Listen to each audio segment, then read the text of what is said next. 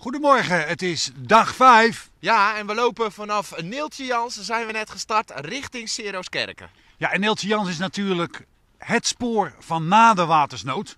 Want door deze kering kunnen we rustig ademhalen, rustig slapen.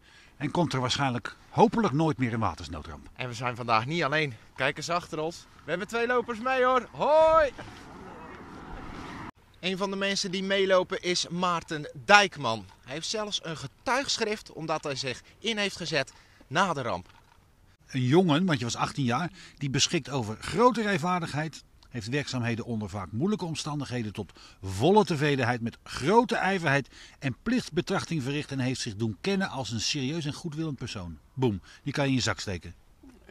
ja, ja, ja. Je moest gewoon, ik reed van morgens 5, 6 uur tot s'avonds 10 uur. Negen maanden achter elkaar. Ik ben nooit geen dag vrij geweest.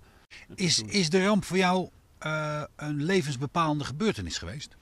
Nou ja, het heeft toch wel behoorlijk wel indruk op me gemaakt natuurlijk nog wel. Ja, je maakt natuurlijk nogal wat mee met alles bij elkaar. Ja, als je dan hier daar komt, en je komt zeggen, kom gauw, hou door, want er zijn al elf mensen verdronken. En, uh, en dan, ja, toen natuurlijk ik s'nachts in de Schellepoek gezeten. En drie, vier uur later waren die mensen van Verboom.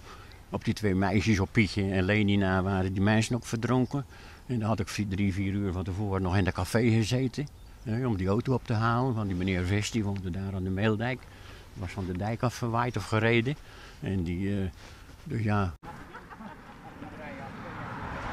Is het belangrijk dat we jouw verhaal, maar ook de andere verhalen blijven vertellen? Ja. Als je het leuk vindt en dat het goed is dat er niet te veel verkeerd in staat, dan maar dat de rust. Uh...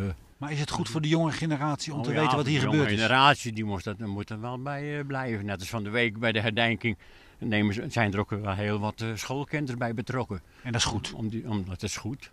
We zijn in Seroskerk, Pim. Het einde van dag 5. En waar gaan we morgen naartoe? Morgen dan beginnen we in de Val bij Zierikzee. En dan gaan we naar... Capelle met Capelle de met de zee. Tot morgen!